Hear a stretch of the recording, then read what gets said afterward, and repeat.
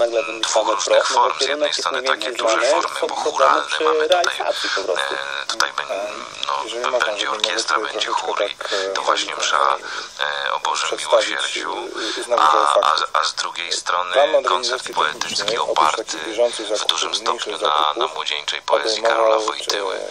Trochę, trochę dwa światy muzyczne, myślę, że e, że każdy człowiek jakoś otwarty na, na sztukę znajdzie coś coś dla siebie. Z jednej strony właśnie.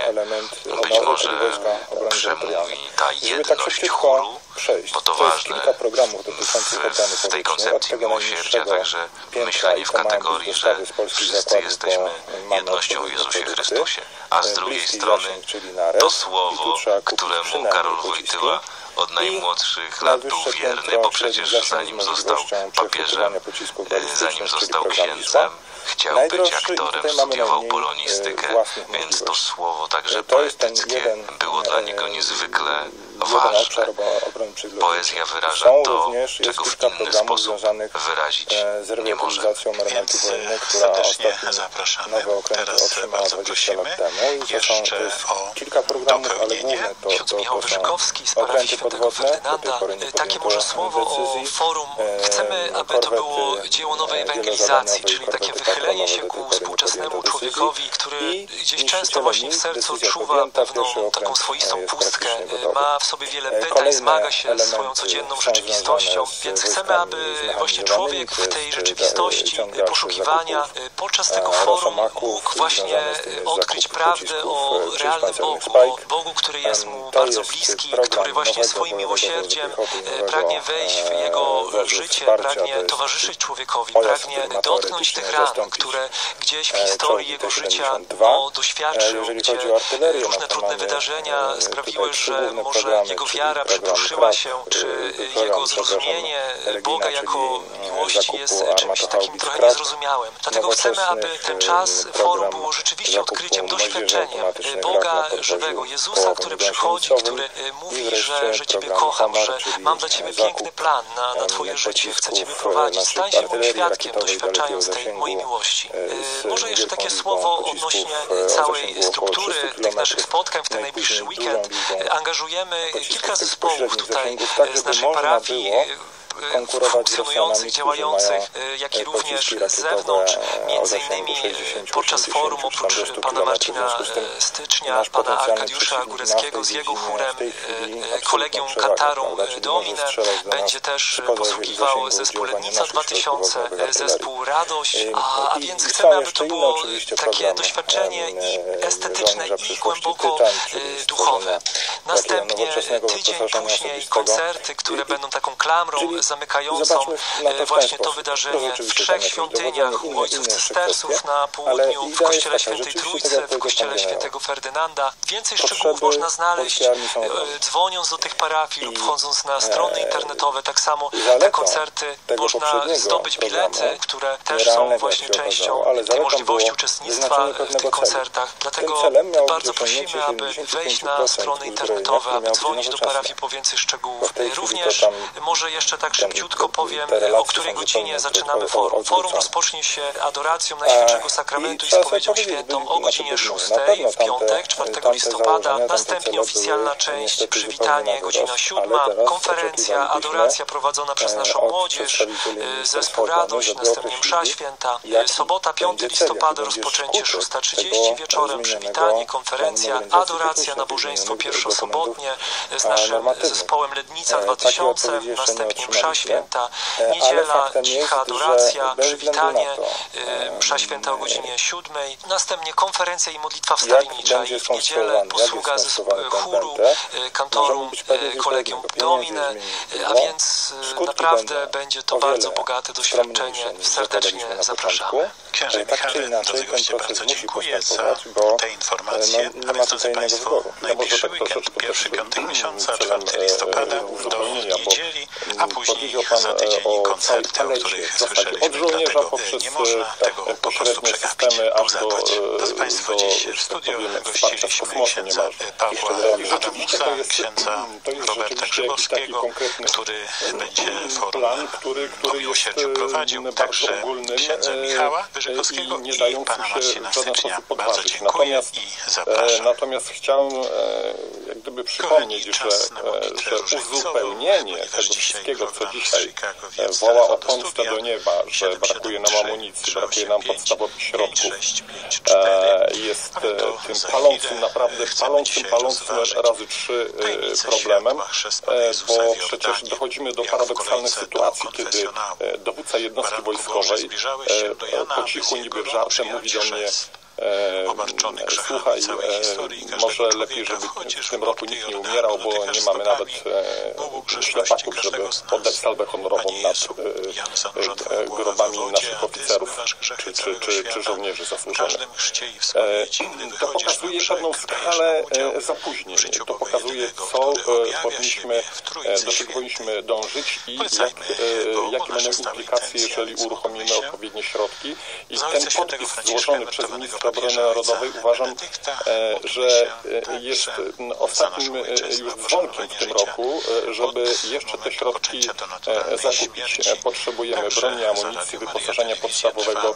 E, Na to czekają dzisiaj wojska. I, e, i to jest bezwzględnie, absolutnie numer jeden e, to, co powinniśmy e, dzisiaj e, wydać środki, e, a przegląd obronny strategiczny, przegląd obronny e, liczę na to, że będzie takim wyznacznikiem. Kierunkiem. E, Być może, że on będzie e, dalej rozwijany, bo tak troszeczkę mało czasu było na e, przygotowanie tego przeglądu, przygotowanie tych wszystkich danych, zebranie często zakamuflowanych wręcz, czy, czy gdzieś tam schowanych pod dywan przez Rynowa, e, dwa- Walentego 20 parę lat jakichś kwestii.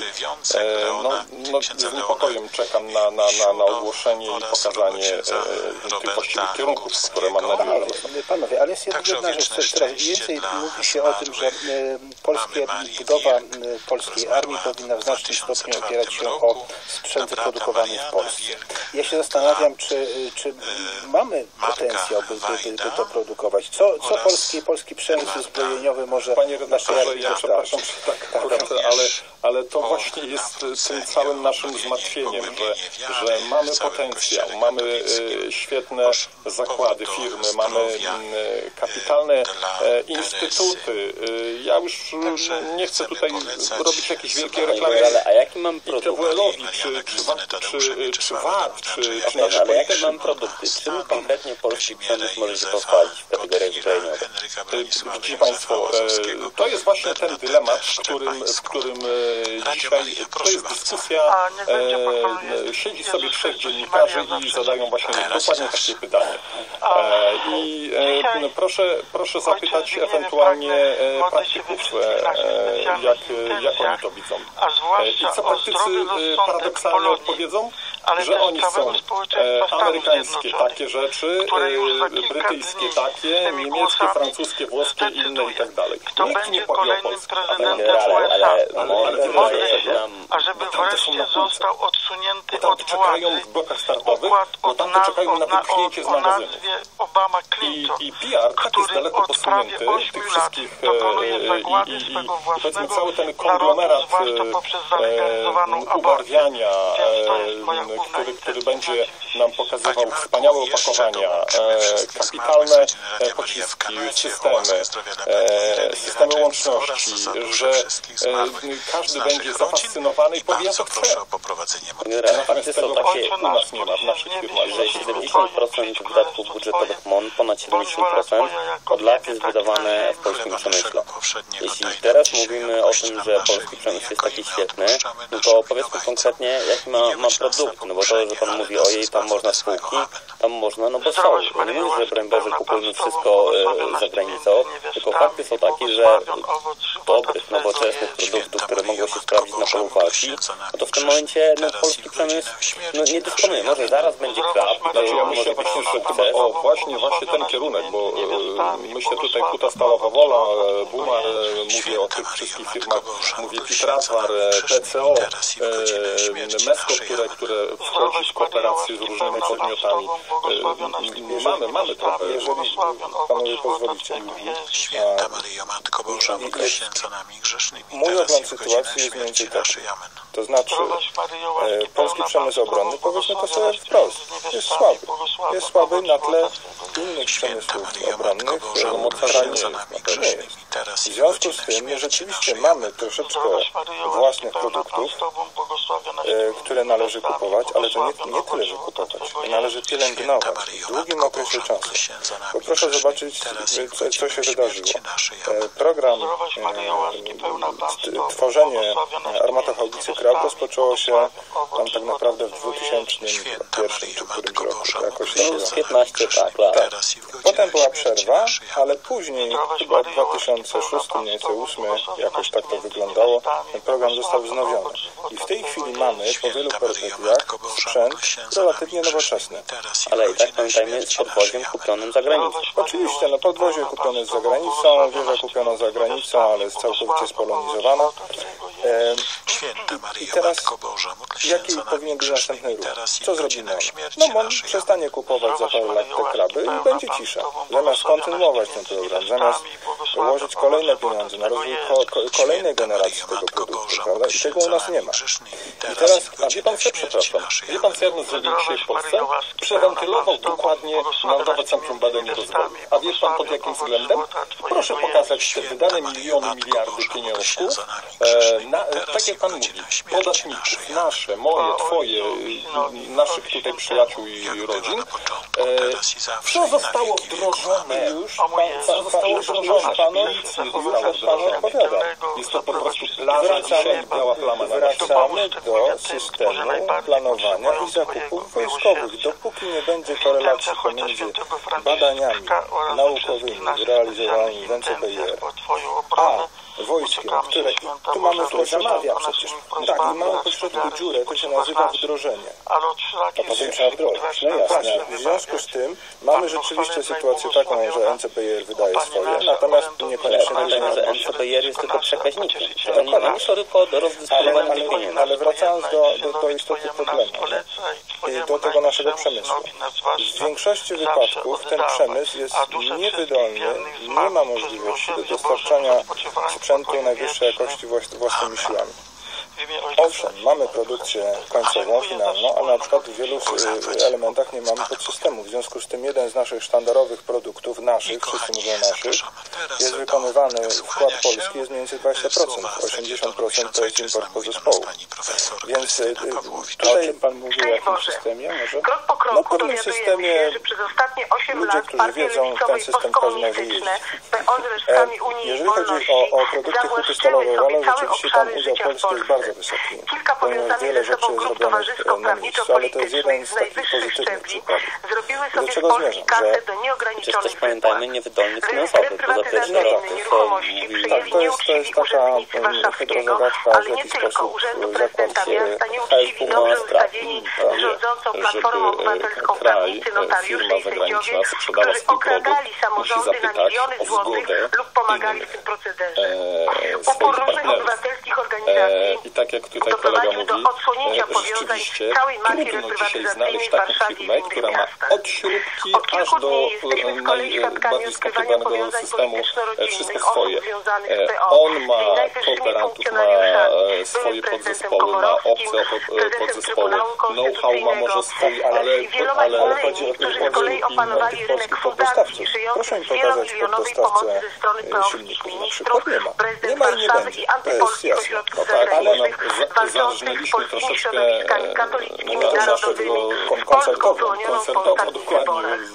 Za publiczne pieniądze najwyżej sytuowane elity polityczno-towarzyskie i przedstawiciele kierujący tymi licznymi fundacjami baserującymi na Polsce organizowali swe listowe seminaria i szkolenia, czasem całkiem bezsensowne, często o wątpliwym prawnie charakterze, jak na przykład szkolenie prowadzone przez córkę byłego prezydenta Komorowskiego. Ponadto szkolenie dziennikarzy telewizji polskiej na potrzeby kampanii wyborczej, w której udział brał przecież jej ojciec, prezydent, e, wczesny jeszcze prezydent Wojciech Komorowski.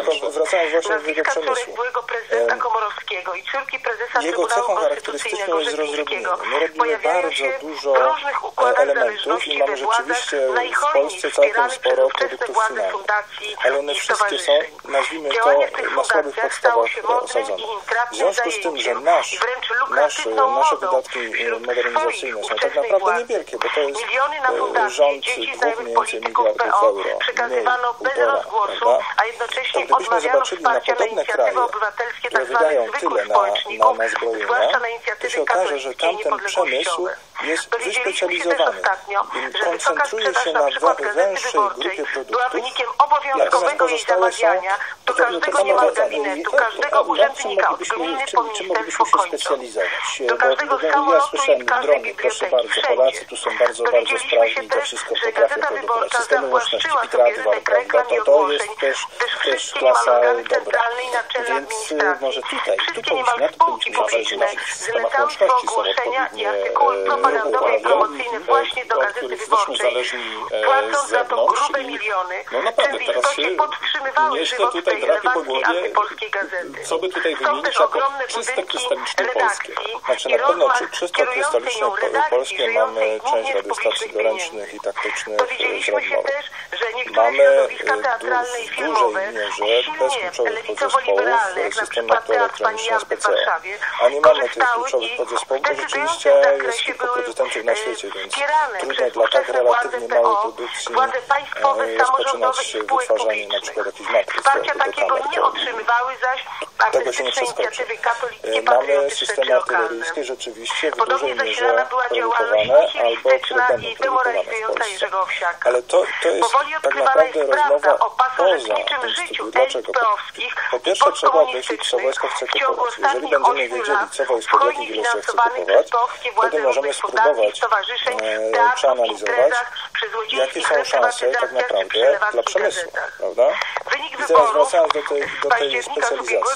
Doskonałym przykładem jest Norwegia, obecnej która ma podobny poziom wydatków zbrojeniowych, ale tak naprawdę koncentruje się na paru wybranych elementów. Wspieranie swoich są na tyle dobrzy, że są w stanie z tych kilka dobrych elementów eksportować szeroko po całym świecie. I to, i to im w zasadzie zwraca koszty, czyli równoważy koszty i. Pamiętajmy o tym, jak nasi go zbudowali. Oni po prostu zbudowali to w ten sposób, że znaleźli partnera, który ma świetną technologię, z nim przez lata kooperowali, teraz mniej lub bardziej próbują to robić sami, chociaż też z pewnymi ograniczeniami, doświadczeniami. My też powinniśmy się, znaleźć, się zdecydować na taki krok, że prawdopodobnie Polska Grupa Zbrojeniowa powinna znaleźć jakby strategicznego partnera i z nim mocno kooperować. A my tu teraz mamy taki festiwal trochę panny na wydaniu, że podpisujemy w roku 20 listów intencyjnych, z których jak na razie nie wynika. Partnerem to rzeczywiście e, to, to, to są dwie pary kaloszy, chociażby z tego względu, że e, dla Ostatni przykład tutaj Erbasa, który chciał stać się samolistnym będą zmuszeni wreszcie do działania na takich samych zasadach, jak inne tego typu organizacje, lub też do zmienienia korzystnych dotychczas interesów. Frustracja i złość środowisk związanych z minioną władzą na władzę Prawa i Sprawiedliwości. znoszącą nieuzasadnione przywileje lewicowych elit. jest coraz głośniejsza i coraz bardziej widoczna trakcie z pewnością dowiemy się jeszcze o odzyskiwaniu no z znaczy, rąk pasożytniczych, cichych, samozwańczych właścicieli Polski na odzyskiwaniu z ich rąk innych obszarów naszego dobra wspólnego, jakim jest Rzeczpospolita. E, Szczęść Najlepiej jakby określili to, mając na względzie polski przemysł zbrojeniowy, by on mógł się rozwijać, by mógł kwitnąć, by dawać, no wiadomo, wiadomo, szanowni państwo, mamy teraz sytuację, najpierw w Kanadzie i o uwagę prosimy Vancouver. Zwierzchnik czy na nadzorcą nabożeństwo przemysłu zbrojeniowego jest obrony, więc tak 5 naprawdę e, kiedy to ma nie powstać 15:45 jak, jak oraz teraz, na prawda? świętą o godzinie Natomiast 17.30 do e, jeszcze ostatnia rzecz, na którą chciałbym zwrócić uwagę. Czy my naprawdę mamy jasno określoną doktrynę dzieła przy nim wojskową? powstałe. To z Prosząc o Boże doktryny. naprawdę z tego, z tego jak my chcemy prowadzić te różnego rodzaju działania, musi wynikać model armii i plan Maryja A ja się niestety obawiam, że my od lat mamy taką sobotę, 5 sytuację, tak, taką trochę powtórkę 18:00 z do Rzeczpospolitej, że my po prostu miniaturyzujemy rozwiązania e, państw zachodnich, najbogatszych. Mamy oczywiście pewne, pewne różnice, na przykład bardzo duża e, na, na, na tle mówiąc czy Niemców liczba czołgów, no bo jesteśmy państwem frontowym, tak, ale Chicago gdybyśmy już zobaczyli na przykład na do- systemy w rozpoznania, a my w związku z tym, że, że jesteśmy tym państwem frontowym, to powinniśmy przede wszystkim doskonale wiedzieć, co się dzieje drugiej stronie granicy. A w tej kwestii akurat jesteśmy całkowicie zależni od sojuszników, prawda? I dalej. godzinie 6 Jeżeli mamy taką wizję, że ktoś nas zaatakuje, to teraz możliwość jakie jednostki są w stanie szybko tam dotrzeć, jakim dysponują potencjałem, czy mają, intencjach serdecznie aby zapraszamy.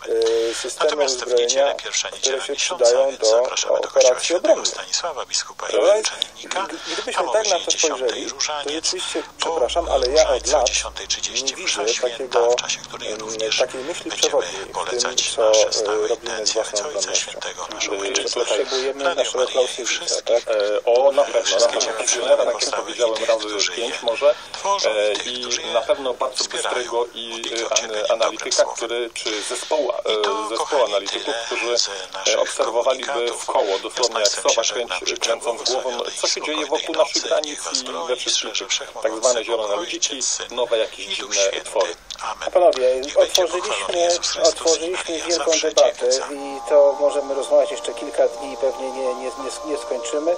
E, Dariusz, generał Dariusz Wroński, e, ekspert Narodowego Centrum Studiów Strategicznych, Michał Likowski, Mi- Michał Likowski, redaktor naczelny miesięcznika Raport Wojsko, Technika Obronność i redaktor Maciej Miłosz, Dziennika Gazety Prawnej byli moimi gośćmi. Robert Walenciak, dziękuję i zapraszam na godzinę 9.16. Autopromocja.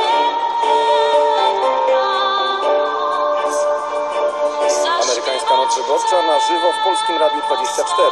So let's be stronger together, my fellow Americans. Specjalni goście, eksperci, komentarze, analizy i opinie. Już 8 listopada od godziny 23 do 9 rano.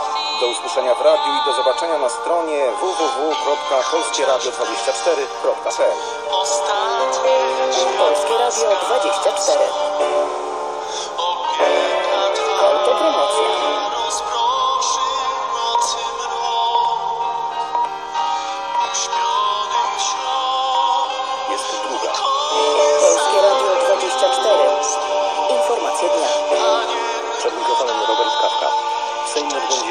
głosowanie nad wnioskiem o wotum nieufności wobec minister edukacji Anny Zalewskiej. 14 października w Dniu Edukacji Narodowej wniosek złożyła Platforma Obywatelska. Wczoraj w Sejmie odbyła się debata Polsce na ten jest temat. godzina Przysłuchiwała się druga. jej Katarzyna Ingram. Zdaniem przedstawiciela wnioskodawców posła Rafała Brupińskiego z Platformy Obywatelskiej minister Anna Zalewska ma złe rozeznanie sytuacji i warunków przeprowadzenia reformy. Dla wniosku do wotum nieufności wynika Tu między Radio przekonania, Maryja, że takie katolicki działania, głos w tak Twoim domu. bez programu, bez dobrych podręczników, bez przemyślenia, bez policzenia kosztów, nie jest żadną gwarancją dalszego podnoszenia jakości nauczania polskich szkół. Wręcz przeciwnie. W obronie minister edukacji głos zabrała Beata Szydło. Premier mówiła, że reforma jest wynikiem wsłuchania się w głos wyborców. Beata Szydło zaznaczała także, że reforma jest dobrze przygotowana i będzie perfekcyjnie wprowadzona. śmierć w kościele w demokracji.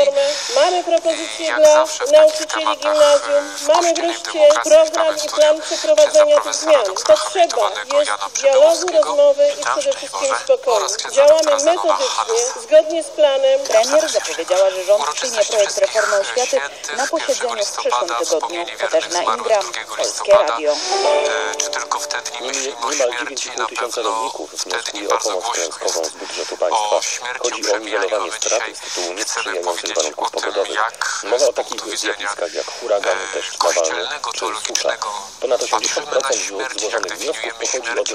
No i oczywiście z takim świeckim spojrzeniem o śmierci też chcemy się zmierzyć. Będą mogli skorzystać z dwóch e, rodzajów płatności. Stawki są wyższe niż w poprzednim sezonie, zauważa Karolina Witkowicza z Departamentu Wsparcia Krajowego Agencji Restrukturyzacji i Modernizacji Rolnictwa. Do hektara upraw rolnych jest to stawka 900 zł na hektar. Jeszcze jest dopłata szklarnia i nalewów foliowych i tutaj na 100 metrów kwadratowych jest 100 zł.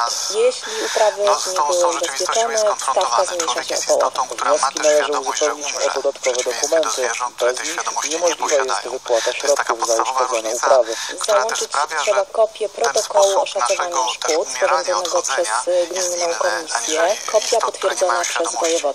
Budżet na wsparcie rolników Sposoby podejścia do, o tym chcemy też trochę porozmawiać w takim, takim ogólnej panoramie, bo myślę, że ten czas, e, kiedy będziemy chodzić na cmentarze, odwiedzając naszych bliskich, e, e, groby naszych bliskich, no to jest taki czas, kiedy, kiedy pojawia się to pytanie o, o naszą własną egzystencję i o, koniec tej egzystencji tutaj na Ziemi.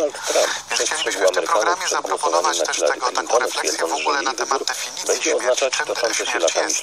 Bo się okazuje, że nie jest to też takie oczywiste do końca, w którym miejscu mamy do czynienia ze śmiercią człowieka. E, I to z tego powodu też powstaje szereg e, etycznych problemów związanych na przykład z transplantacją, w którym momencie uznajemy człowieka za nieżywego, za martwego i kiedy ta transplantacja jest możliwa, sprawa, więc o tym chcielibyśmy też porozmawiać, tu się z myślę, taką definicję, czy takie.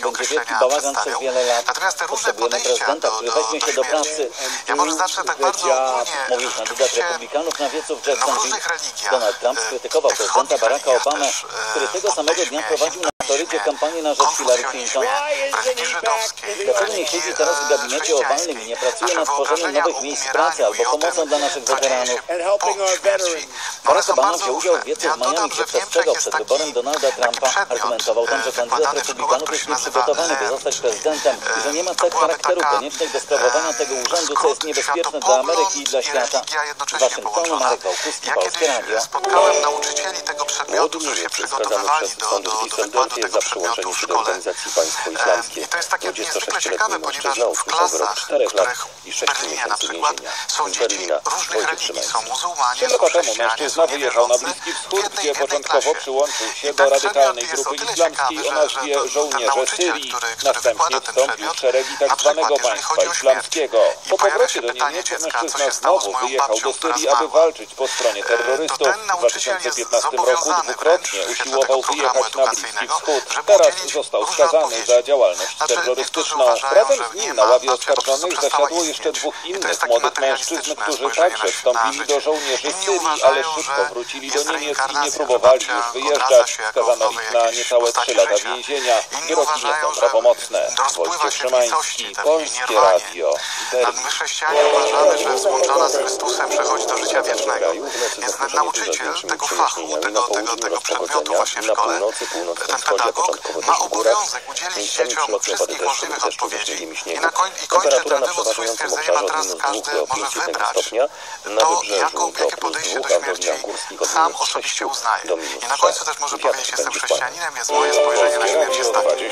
No wydaje się tak to tak dość odległe, nie? Że, tak, że taki w ogóle przedmiot jest, ale on dotyka e, tego, o czym chcemy też porozmawiać, że nasze rozumienie śmierci, podejście do śmierci jest bardzo ściśle związane z naszym obrazem. Powtórka programu. Czym śmierć jest?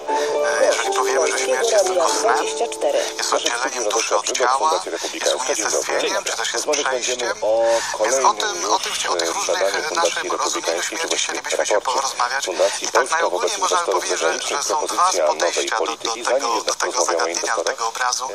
Jeden moglibyśmy nazwać, ja to e, Raniero Cantalamessa, bardzo taki znany teolog, on to odróżniał jako takie podejście mądrościowe znaczy my próbujemy zrozumieć śmierć za pomocą naszego intelektu, za pomocą filozofii, za pomocą poezji, sztuki.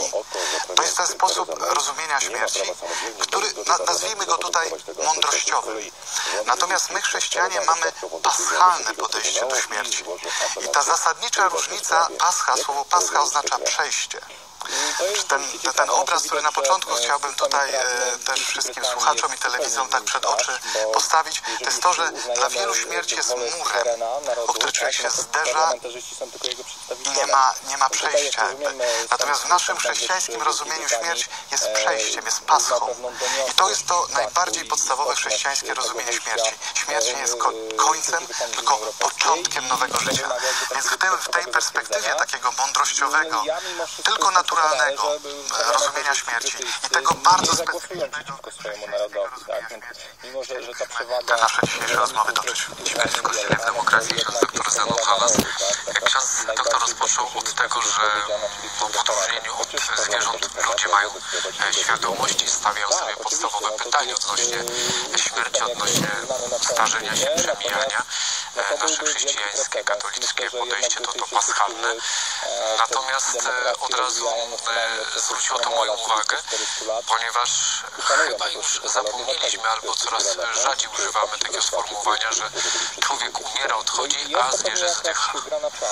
To, że ludzkie ciało po śmierci to zwłoki, a zwierzęce e, to po prostu e, padlina. No jest to, jest to, jest to prawda, że, że kiedy zastanawiamy się nad, nad psychologią umierania, to znaczy jest też taka dziedzina wiedzy, możemy też to, e, użyję takiego może obcego słowa, ale dla słuchaczy, którzy chcą, chcą też udedukować siebie, jest, jest coś takiego, co w akademickim języku nazywamy tanatologią. Tanatologia. Thanatos to był grecki bóg śmierci. Tanatologia to byłaby nauka o śmierci, o umieraniu. To jest taki sposób e, no, naszego racjonalnego też badania, w jaki sposób śmierć jest przedstawiana w sztuce, w mediach, w jaki sposób my rozumiemy śmierć, jaka jest psychologia, socjologia śmierci.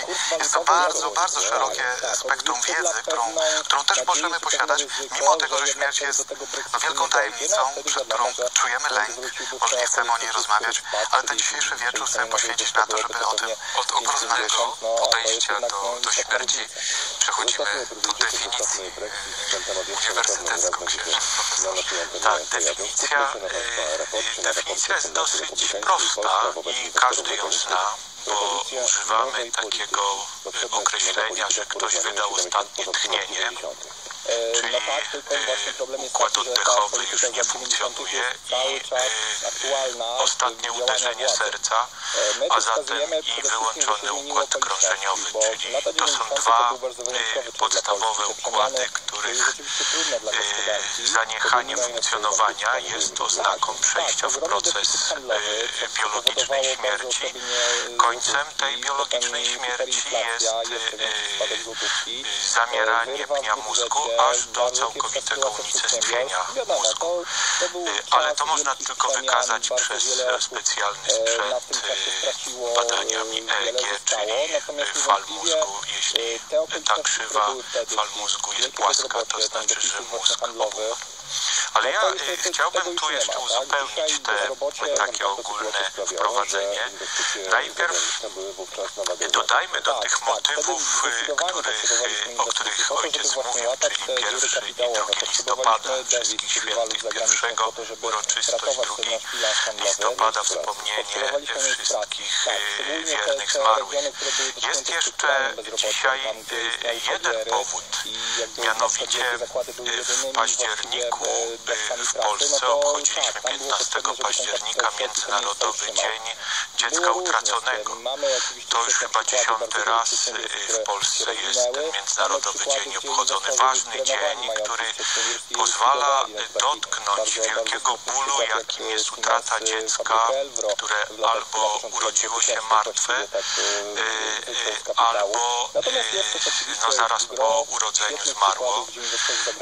Przywracamy niejako godność tych istot, które no, z różnych racji gdzieś zostały odsunięte. Również w pewnym sensie są tu też zaniedbania Kościoła, chociaż Kościół stara się dbać o to, żeby w godny sposób pochować każde istnienie ludzkie, ale również od strony prawnej to jest ważne, dlatego że matka, która e, chce pochować swoje dziecko i wystara się w szpitalu o e, normalny akt zgonu, e, ma też prawo do wszystkich e, związanych z pochówkiem świadczeń, co też jest e, ważne i warte podkreślenia.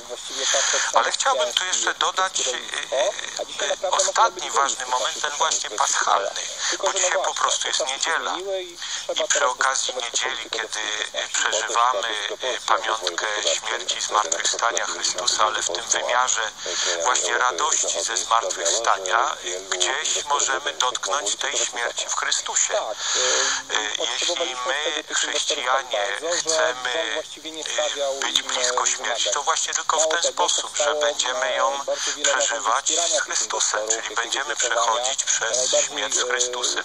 I tu pięknie e, Zenon powiedział, że e, e, dla ludzi rzeczywiście e, śmierć jest często murem. E, Nie wiemy, jak go przejść, ale e, Bóg nie widzi tak, jak, jak człowiek śmierci. Bóg widzi śmierć jako bramę murze. I to myślę, że, że to przejście jest możliwe dlatego przez ten mur, że tam jest po prostu brama, którą jest Chrystus. Natomiast e, ja bym jeszcze chciał tu się odwołać do naszego ostatniego programu, który poświęcony był życiu. Mówiliśmy o wartości życia w Kościele i demokracji. I wydaje się być naturalnym, to już jest ostatni motyw, żeby dzisiaj mówić o śmierci, bo jeśli mówiliśmy o życiu, to e, jeśli ktoś ceni sobie wartość życia, to e, będzie umiał też ocenić wielkie dobro śmierci. Natomiast e, nawiązując do tego właśnie tematu życia i śmierci, ja bym chciał tu przytoczyć taką takie powiedzenie, no nie wiem, może pewną mądrość e, sformułowaną przez jednego z myślicieli, który powiedział tak, że narodziny to jest taka bolesna tajemnica między matką a dzieckiem. Natomiast śmierć też jest bolesną tajemnicą, ale już między Bogiem a człowiekiem. I e, jeszcze jeden taki aforyzm chciałbym przywołać, tym razem Mickiewicza, mianowicie e, z poematu Angeli. Jeżeli z nich idzie produkcja na eksport, to jest jeszcze pół biedy, tak? Bo, Umrzeć nie jest, narodzić się nie jest to, co zmartwychwstać. Trumna nas odda, ale nie spojrzy na nas jak matka. Przepięknie pokazane to, co jest też istotą tej tajemnicy śmierci, że e, e, jeśli chcemy zrozumieć śmierć, to musimy traktować to jako narodzenie człowieka. I myślę, że to jest istota tego chrześcijańskiego pojęcia śmierci.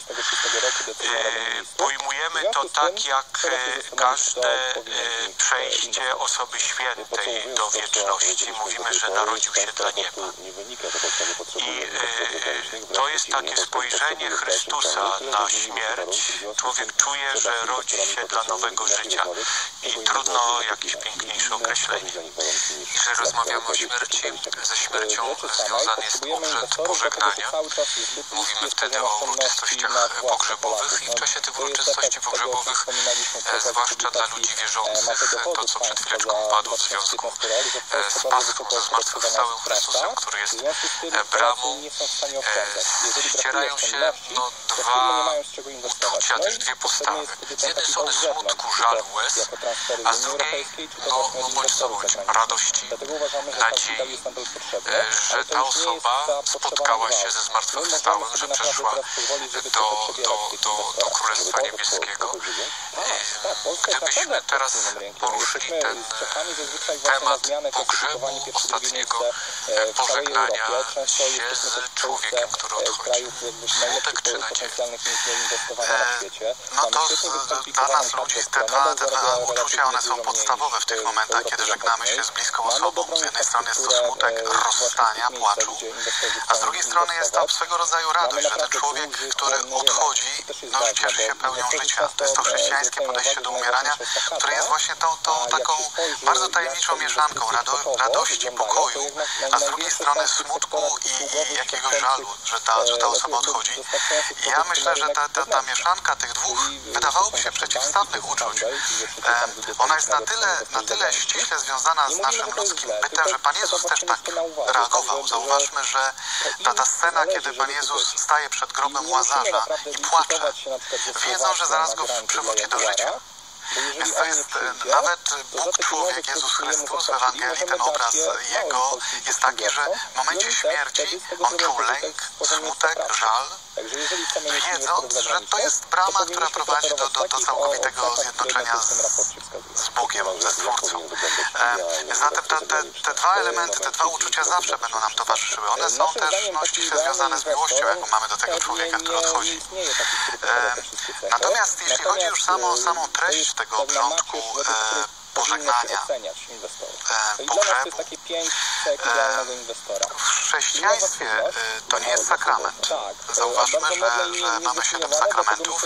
Do tych sakramentów nie, nie, nie, nie, do, nie zaliczamy też obrzędu po, pogrzebu. To nie, kiedy jest msza święta sprawowana w czasie, w czasie liturgii pogrzebowej, no to jest wtedy sakrament. Natomiast sam pogrzeb sam sobie nie jest sakramentem, nie jest Zmarły stanął już przed Boga, więc to, więc to nie, nie, nie jest, nie jest nie, nie potrzebuje sakramentu.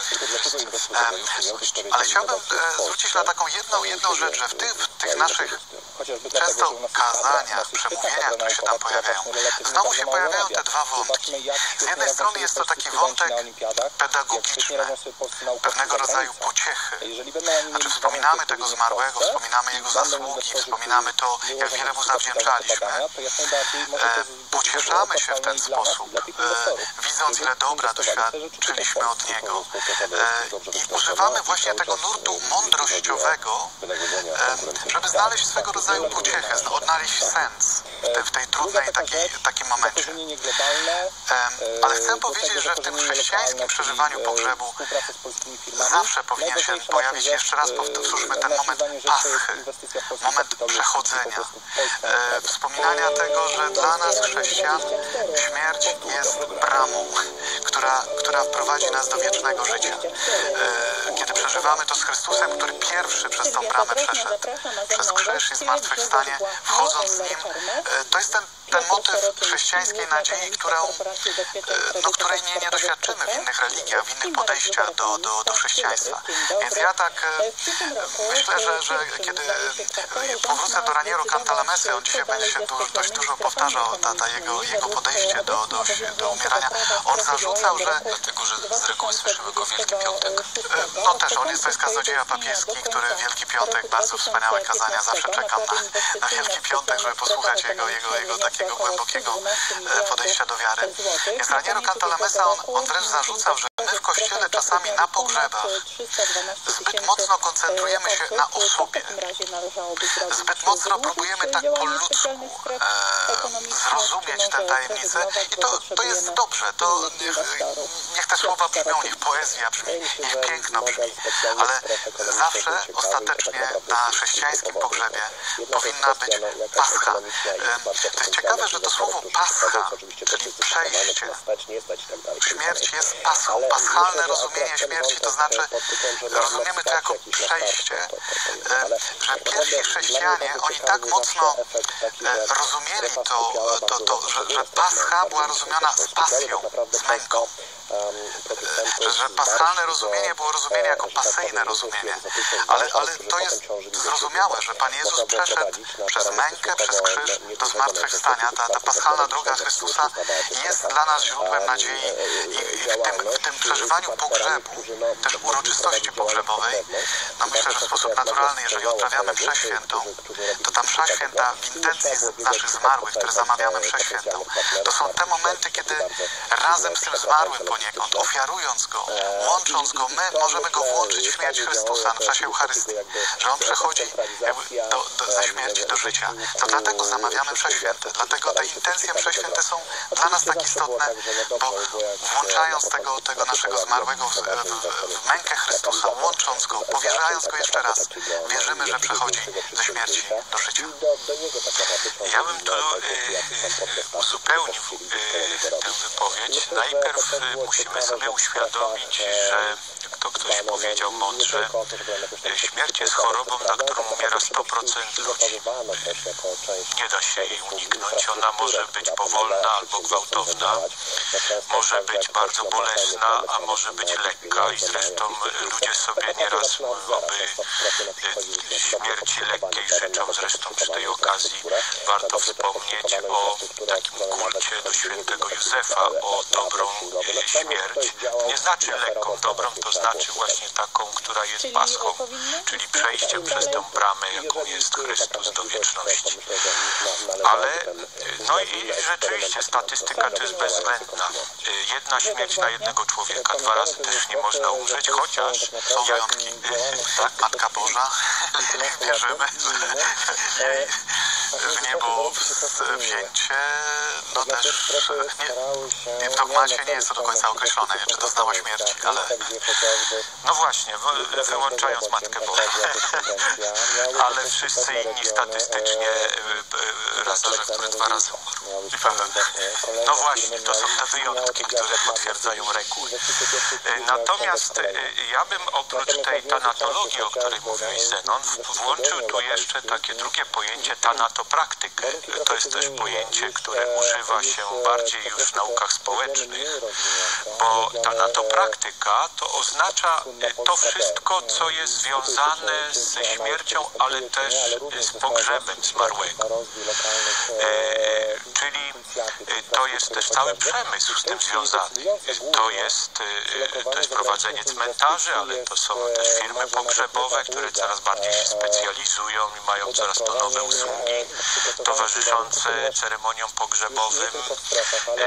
Tanatopraktyka to jest też specjalne przygotowywanie zwłok i to w taki sposób na zachodzie to w tej chwili jest powszechne, używa się nawet różnych specyfików chemicznych, żeby zmarły wyglądał jak za życia, tak jakby to było najważniejsze, jak to się też jeden z zakładów pogrzebowych reklamował. U nas po śmierci będziesz lepiej wyglądał jak za życia, prawda, w trumnie. To już jako anegdota, ale, ale to na tym polega właśnie tanatopraktyka. Przeciwko tanatopraktyce występuje Kościół w swoich dokumentach, takim ważnym dokumencie Dyrektorium o Pobożności Ludowej i Liturgii. Właśnie zwraca się uwagę, żeby nie wykorzystywać do łatwego zarobku tych bolesnych przeżyć związanych ze śmiercią i, i, i pogrzebem, bo są tacy, którzy próbują żerować na, na, na, tym, na tej tragedii ludzi, którzy stracili swoich najbliższych. Ale też tanatopraktyka to jest unikanie wszelkiego rodzaju kultu, który bezcześciłby prochy zmarłych. Myślę tu też o ostatnim dokumencie, który reguluje sprawę kremacji i jasno przypomina, że miejscem prochu po spaleniu jest cmentarz, miejsce święte. Z wyjątkami można je gdzie indziej przechowywać, ale wyraźnie zakazuje robienia na przykład z prochów zmarłych biżuterii, bo to w ramach tanatopraktyki przygotowywana na przykład przechowywanie w jakimś sygnecie czy, czy w kolczykach prochów zmarłych. Więc zmienia się podejście. Ja tu może bym to pokazał na takim przykładzie. Jak kiedyś ktoś umierał, to ci, którzy mówili o śmierci, to pytali, czy przyjął Najświętszy Sakrament, czy się wyspowiadał, czy przebaczył wszystkim, czy zdążył przebaczyć, czyli jak ta śmierć wyglądała właśnie od strony tego przejścia. A dzisiaj w tych pytaniach przewija się no, czy cierpiał i, i czy umierał świadomie, tak jakby ta, ta świadomość jest taka, powiedziałbym, podkreślana, więc widzimy tu też, jak się zmieniło to podejście do śmierci. Dzisiaj też większość śmierci to są szpitale, y, często y, może w naszych tutaj polskich warunkach już tak to się nie dzieje, ale kiedyś to po prostu była śmierć w cudzysłowie za kotarą, czyli za zasłoną, y, gdzie po prostu oddzielano tego umierającego od innych chorych w ten sposób, że zasłaniano łóżko, ale, ale w takich bardzo niegodnych warunkach.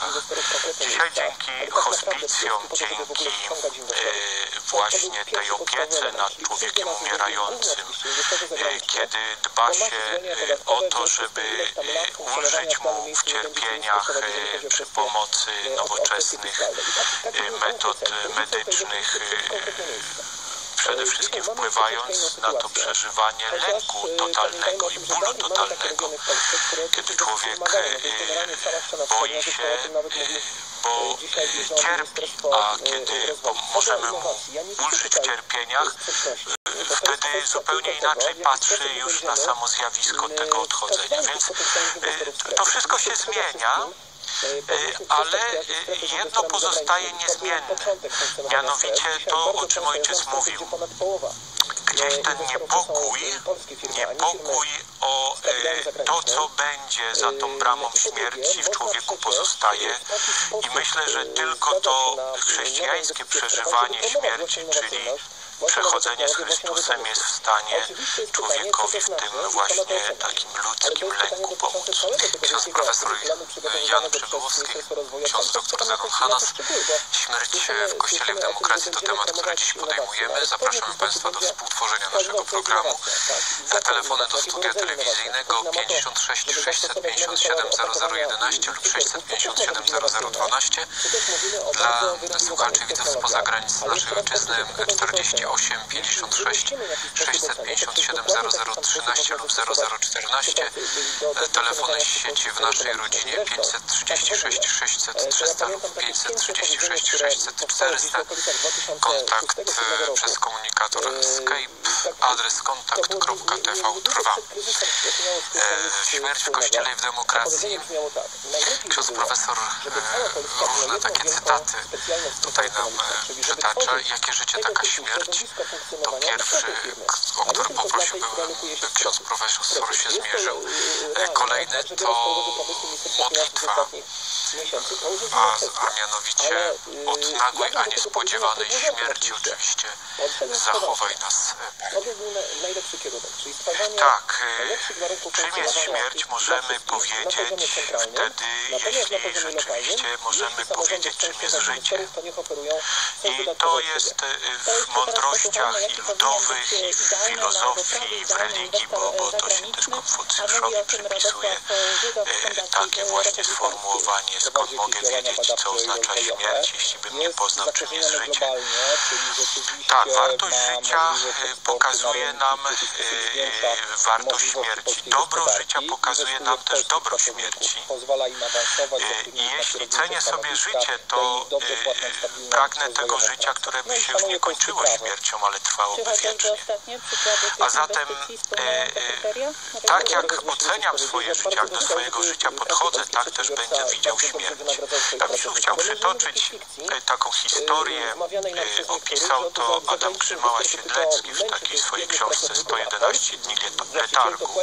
To jest jego wspomnienie z czasów wojny, z pobytu na Pawiaku, gdzie jednym z jego współtowarzyszy w celi był taki człowiek w średnim wieku, brany na przesłuchania. W coraz gorszym stanie był już później na końcu przynoszony z tych przesłuchań, torturowany, męczony.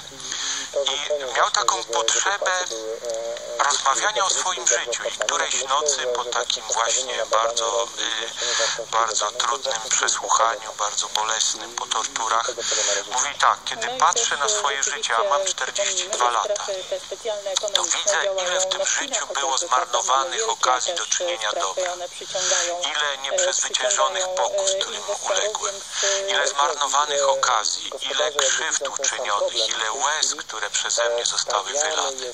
A z drugiej strony, jeśli patrzę na dobro, którego jestem pewny, że to było dobro, czyli, czyli e, świadome, wolne czynienie dobra dla innych. Kiedy ja temu drugiemu człowiekowi starałem się w miłości coś dobrego ofiarować, kiedy to wszystko zliczę, to wydaje mi się, że nie jest tego więcej niż dwa lata. I on na końcu mówi tak.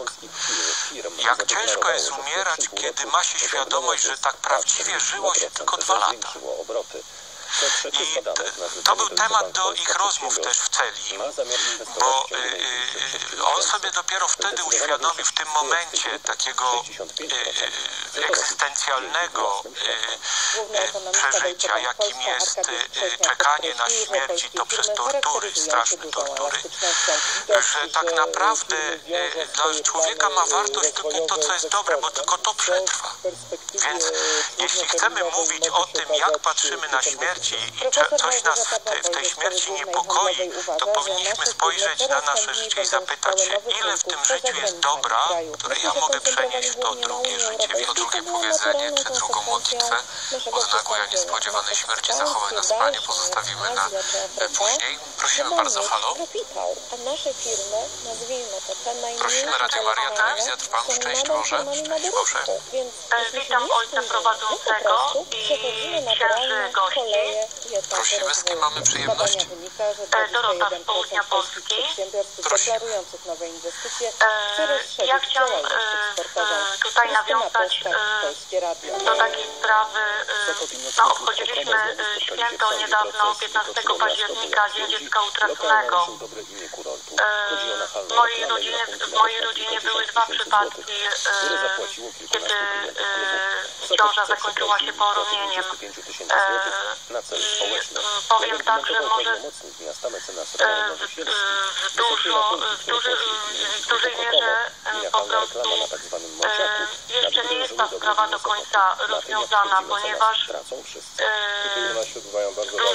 w parafii, no nie wiem jak w innych jest, przynajmniej z tego co wiem, po prostu dzieci, te dzieci nie mają godnego pochówku. Również w szpitalach no różnie podchodzą do tej sprawy. Rodzice dzieci tych zmarłych przed urodzeniem we wczesnych okresach ciąży zakończonej poronieniem nie mają e, możliwości pożegnania swoich dzieci godnie. E, nie ma również e, na cmentarzu takiego wspólnego grobu tych dzieci zmarłych przed urodzeniem. Chociaż już w coraz, w coraz większej ilości miast zgadzam się z tym, że oglądałam takie pogrzeby po prostu kiedy te szczątki dzieci zostały popielone i tam w jednej urnie pochowane, kiedy, kiedy te rodziny po prostu mogły te dzieci tutaj pożegnać i, i, i gdzie te groby dzieci zmarłych przed urodzeniem są na cmentarzach. Natomiast powiem także, no nie wszędzie tak jest. I tutaj nie wiem, czy, czy tutaj inicjatywę przejmuje parafia, czy, bo często też rodziny, rodzice no, w takich, w takich powiem chwilach no nie wiedzą, gdzie mają się udać, jeżeli nie ma aktu zgonu. Szpitali, nie wszystkie szpitale takie akty chcą wydawać, więc tak jakby to dziecko nie istniało, tego dziecka nie było. Przypomnę, że dzisiaj naszymi gośćmi to chyba wszystko. Dziękujemy Pani Doroto. I oczywiście od już wielu lat na antenie Radia Maria Telewizji Trwam mówimy o tym, o tej sprawie, o tym problemie. Jednocześnie uświadamiając siebie nawzajem, by nie pozostawiać obojętne sprawy dzieci utraconych, zwłaszcza przez rodziców, ale też przez najbliższą rodzinę, czy też przez, przez Kościół, czyli tutaj przez parafię, przez księży. E, tak, to prawda, Pani Doroto, jest to, to, to o czym Pani mówi, no, dla, dla wielu osób jest zawsze bolesnym doświadczeniem utrata dziecka. Dla matki, no to są, to są przeżycia, które przez długi czas później jakoś serce krwawi.